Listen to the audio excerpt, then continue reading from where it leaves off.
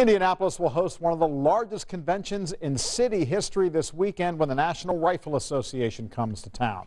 The NRA expects more than 70,000 people for a weekend of events that includes displays by gun makers, speeches by gun rights activists, and music by well-known bands. But as our City Beat reporter Mary Milz tells us tonight, not everyone coming is a fan of the group. The city worked hard to get the NRA here. Hotels are booked, restaurants will be packed. The convention is expected to boost the local economy by $55 million, but not everyone welcomes the group. It's hard to miss the banners and signs outside the convention center. The NRA is here with nine acres of guns and gear. I know our members are excited to be coming here and the organization itself. We're all here busy getting things set up. It's 117 from the front. They're setting up for a trade show, meetings and seminars here, along with a stand and fight rally and concert at Lucas Oil Stadium. For the gun rights group, it's more than a convention. It's a call to action from the NRA leadership who will address members Saturday. And what they're going to do is kind of give us a lay of the land, where we stand for the 2014 elections.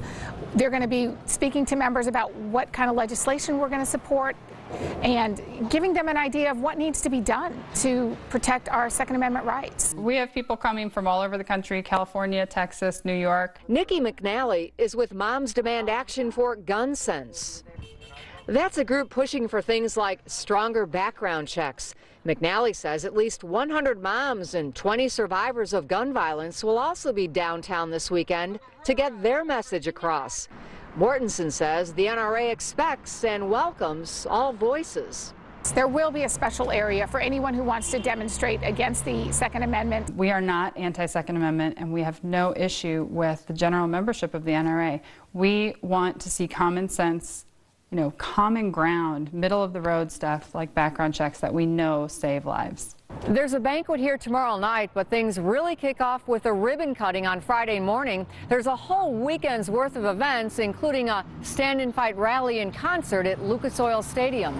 On the City Beat, Mary Milz, Channel 13 Eyewitness News. Thank